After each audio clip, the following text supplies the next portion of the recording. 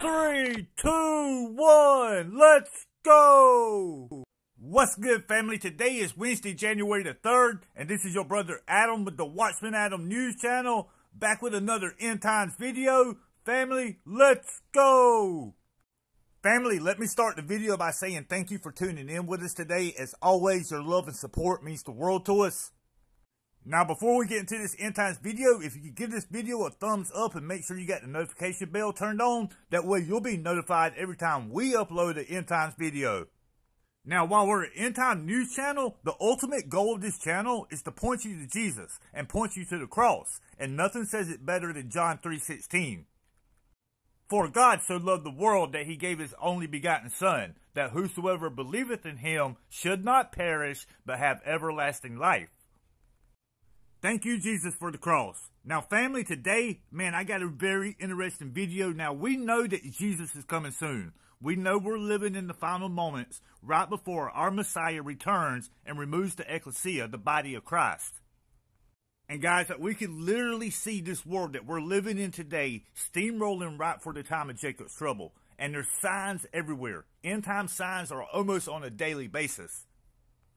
And one of the things that the Most High uses for signs is the stars, the sun, and the moon. He created them all. And Genesis 1.14 tells us this.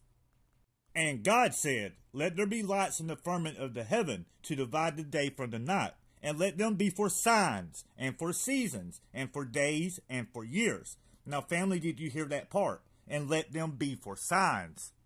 So you see, family, the Most High God, He is the architect of the heavens, and He uses the stars, the sun, and the moon for signs. And we read in Daniel 6.27, He delivers and rescues. He works signs and wonders in heaven and on earth. He who has saved Daniel from the power of the lions. Now, family, did you catch that part? He works signs and wonders in heaven and on earth.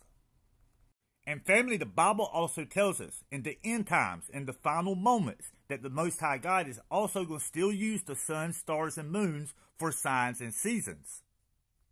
Luke 21, 25. And there shall be signs in the sun, and in the moon, and in the stars, and upon the earth distress of nations, with perplexity, the sea and the waves roaring. And family, in Joel 2.31, it also shows us that in the last days, the Most High God is going to use the sun and the moon for signs and wonders. And we go on to read in Revelation 6.12 and Matthew 24.29, it's the same theme. The Most High is going to darken out the sun. He's going to turn the moon to blood. He's going to use it for signs and wonders. Now, family, I think we all know the Great American Eclipse of 2024 is coming up on April 8th, 2024. And family, I truly believe what I'm about to show you what we're about to talk about, guys, this is really, really some big stuff right here. And it shows that there's a purpose behind these solar eclipses. Now, we got this one coming up April 8th, 2024. But family, today we're going to go back all the way to August 21st, 2017, and we're going to look at a series of four eclipses. The American solar eclipses of August 21st, 2017, June 2021, October 2023, and the one coming up April 8th, 2024. Now, family, I want to throw in that the Revelation 12 sign also happened in 2017 after this first solar eclipse.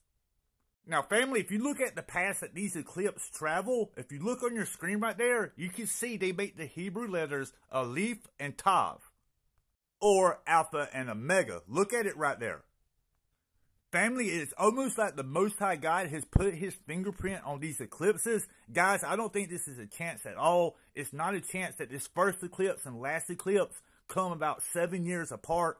Family, that first eclipse was a warning from the Most High God. And family, don't forget that the blood moon tetrad also happened in that time period. Now, if you look right here, the first eclipse in 2017 and the last one that's coming up in April 8, 2024, they make the ancient Hebrew letter of Tav, which has a numerical value of 400, and we know that the Most High created the sun, moon, and stars on what? The fourth day. Now, this is the 22nd letter of the Hebrew alphabet, and you can see right there, it is also used as an interpretation of a cross. And it represents the ending of something, family. This is amazing. Now, these two eclipses that nearly crossed the entire U.S. seven years apart form a giant tile or X over the nation with the center of the X spot being in an area in southern Illinois called, check this out family, Little Egypt. Ironically, or by divine decree, the August 21st, 2017 eclipse occurred on the first day of Elul on the Hebrew calendar, marking the first day of an annual 40-day cycle of repentance. And the one coming up in April 2024, the second of the great eclipses, will occur on the first day of Aviv, or 14 days before Passover.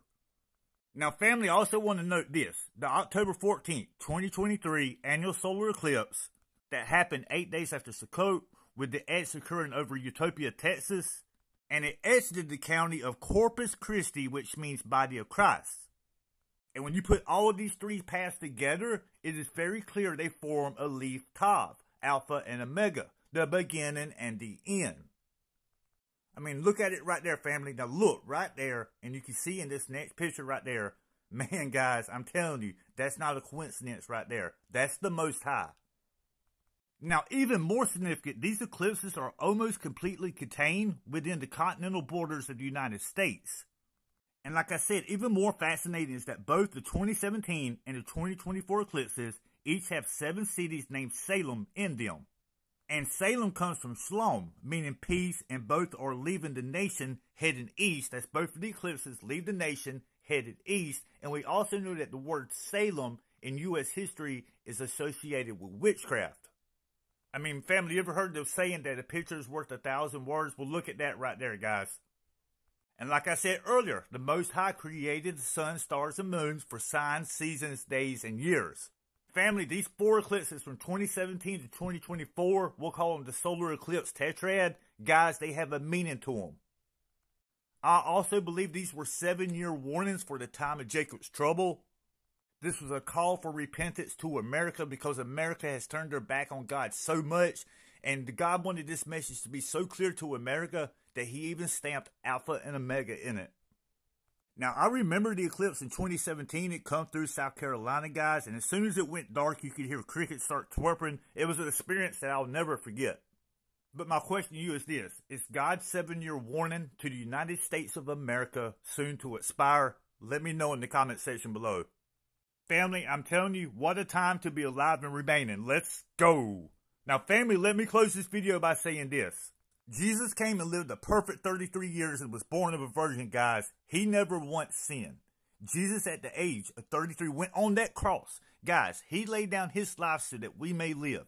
He paid our sin debt on the cross. The Son of God went on the cross and took our punishment.